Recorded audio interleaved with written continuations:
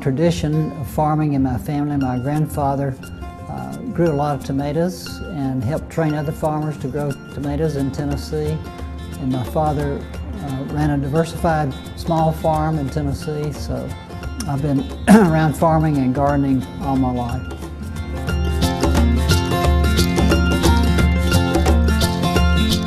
This is my 10th year at the Miller Farm.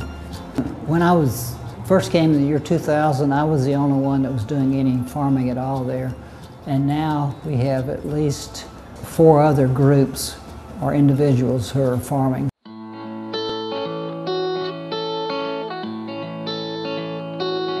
I've been affiliated with the Missouri Organic Association since it began in 1991, and I completed two years as uh, president uh, this past February.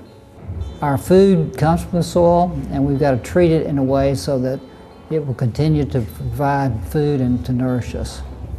If you're successful in communicating your, your values and your beliefs to others, try to involve them in what you're doing.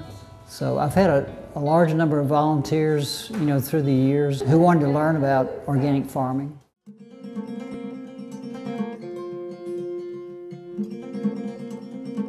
Growing up in a rural area, we always helped our neighbors and our neighbors helped us, so it's just part of, uh, you know, my tradition. Back about my childhood and how my parents instilled in me a love for nature and for taking care of other things, other God's creatures.